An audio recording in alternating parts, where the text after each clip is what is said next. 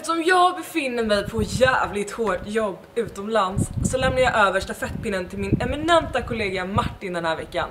Så han tar över bevakningen för Melodifestivalen i Linköping. Tack så mycket Petra. Jag befinner mig i Stockholm på Norrmalmstorg. Lite kallare än vad du har det, men ack så mycket trevligare. Idag ska vi träffa Martin Stenmark. Han har varit med en gång tidigare. Då med låten Las Vegas så tog han sig hela vägen till Eurovision och vi tänkte höra om han ska göra samma sak i år igen. Hur känns det inför helgen?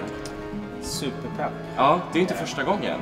Nej, det, det, det var ett tag sedan. Nej, men det är andra gången. Det När var det senast nu då? Det var Nio 2000 år sedan. Nio år sedan, ja. 2005. Jag såg Och då, gick det, då kom du hela vägen till Eurovision. Just det.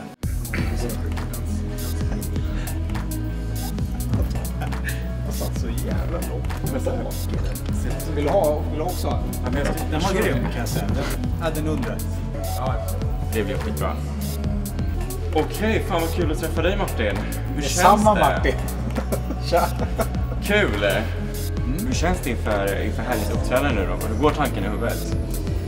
Eh, tankarna går eh, ganska lugnt och sansat tycker jag. Också en grej som har skilt, skilt sig på de här nio åren att man blir lite coolare. Men det är, så här, det är lite finslipning in i det sista. Det är lite nummer, det är lite ljussättning. Eh, lite på kläderna, lite sådär. Eh, den här gången är det en annan grej som jag varit med och skrivit låten. Så förra gången på något sätt, då höll jag ju på att jobba in i det sista med liksom på något sätt lära mig låten och liksom hitta den. Men nu, har man ju den så, som har varit med och gjort den. Så är det liksom, men jag är otroligt eh, förväntansfull. Vad kommer vi få se av Martin Stenmark? Vad kommer du leverera liksom? Ehm, Jag kommer att leverera en, en stor låt. En stor ett, låt. Ja, ett genomtänkt nummer. Ett genomtänkt nummer och Någonting som sticker ut lite från vad jag brukar vara. med lite referens till, till tjejerna runt omkring dig också. Är du lite av en tjejtjusare och Ladies Night? Eh, nej, jag tänkte på tjejerna som dansar runt Las Vegas. Ja. Jag tänkte det. Ja, ja. Nej, där var de med. Där tyckte jag att de tillförde någonting i numret i själva... Eftersom låten handlade om det. Jag tänker du har ju mött otroligt mycket brudar runt om i landet. Ja, speciellt om man då startar en sån Ja. som Ladies Night så är det så. Men man står ju ändå på scen. Det är en bit emellan så jag har inte gått och skakat hand. Du är ändå beundrad för att ha en schysst klädstil av killar också. Ja, men det...